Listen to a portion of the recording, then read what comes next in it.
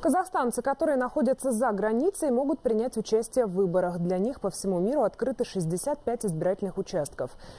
Соотечественники могут проголосовать в консульствах нашей страны. Для этого достаточно прийти туда с паспортом. Избирательный участок номер 207 в Пекине начнет свою работу в 7 часов утра. Он уже готов принять избирателей. Всего в Китае 20 марта будут работать 4 участка. В их числе, кроме Пекина, Шанхай, Гонконг и Урумчи.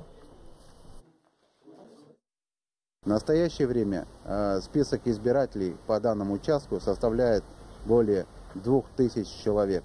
В основном это студенты, обучающиеся в Пекине и в ближайших городах, работники посольства и национальных компаний, а также члены их семей. Кроме того, к нам поступают обращения граждан Республики Казахстан, находящиеся на лечении, служебной и деловой командировке, которые также хотят реализовать свое конституционное право